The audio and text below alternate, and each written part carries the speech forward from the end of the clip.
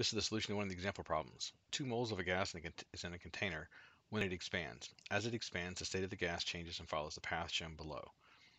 Question number one was to find the internal energy for the initial state. So if I look at this, this is a PV diagram, and on the left I have kilopascals. So that's not 1, 2, 3, 4, 5, but 1,000, 2,000, 3,000, 4,000, 5,000. And the volume is measured in meters cubed. Okay, let's get to the question. So I got to find the initial state. So the initial state is here. That's where I start. You can see I've got the black line that shows the progress. And so it starts in the lower left and goes to the upper right. So that's what makes that the initial state. If I look at the initial state, I can determine some givens from the diagram itself. So I know the pressure I can read from the vertical axis, that's 2,000 pascals. The volume can be read from the horizontal axis, that's 4 meters cubed. And the problem tells me it's 2 moles in the thing, in the container.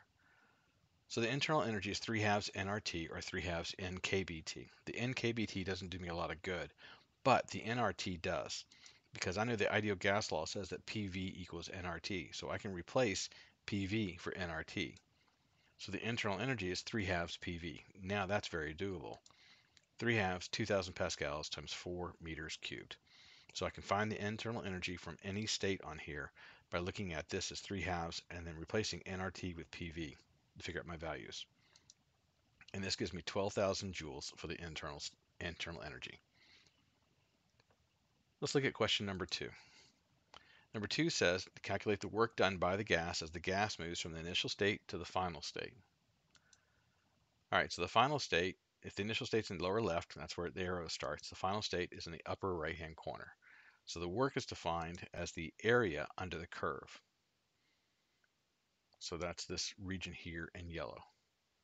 So when I look at this, you can solve this as a rectangle or a triangle, but what I see is a trapezoid. So the area of the trapezoid is the average of the bases times the height, except this trapezoid is turned 90 degrees, so it's sitting on its side. That means that this is B1, this is B2, and the height is actually sideways in this trapezoid. So that's kind of nice, a little bit less to work with.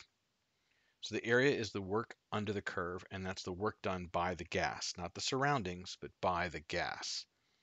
So the work done by the gas is the area under the curve. So the work done by the gas is base 1 plus base 2, that's 2,000 plus 4,000 divided by 2, times the height, which is 8 minus 4 meters cubed. And that means that the work done by the gas is a positive 16,000 joules. Question 3 asked to find the work done by the surroundings as the gas moves from the initial state to the final state. So what I know is that the work done by the gas is equal to the negative or the opposite of the work done by the surroundings. So they're opposites. So that's easy. That means that the work done by the surroundings is negative 16,000 joules.